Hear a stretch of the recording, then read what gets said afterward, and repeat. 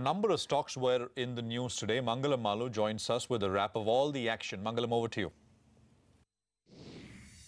Indeed, the markets are the biggest news makers of the day, but a lot of individual stocks buzzing around too. For the likes of PSU banks, all of them should come up for you. We have names like Bank of India, Allahabad Bank, even Union Bank and Syndicate Bank, all of them seeing big gains. TD Power Systems was another stock gained after a railway generator order came by the company from one of the MNCs. The management spoke to CNBC TV 18 and said that uh, these uh, generators, 45 generators, will uh, generate revenue worth around 25 to 30 crores for the company.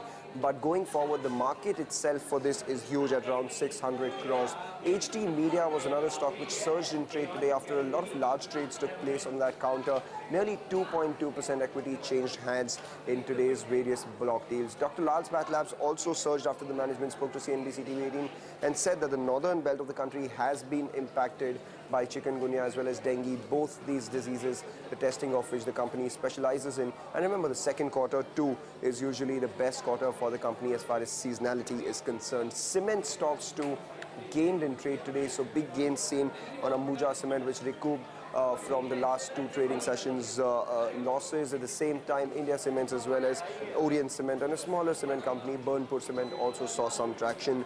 GMDC gained on the back of a good set of numbers that came by yesterday. Additionally, the management said that FY17 too looks good with lignite volumes, which could be around that 8 million tons mark.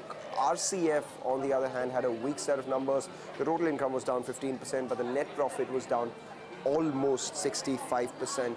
Electronics have been buzzing around for a while. Yesterday we spoke about names like BPL as well as MIRC Electronics moving and today we saw some gains come by in TVS Electronics, MIC Electronics as well as V-Guard Industries.